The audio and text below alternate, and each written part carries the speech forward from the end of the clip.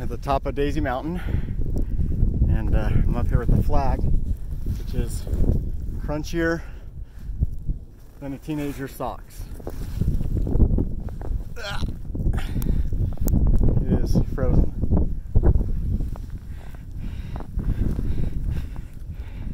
It's complete white out up here.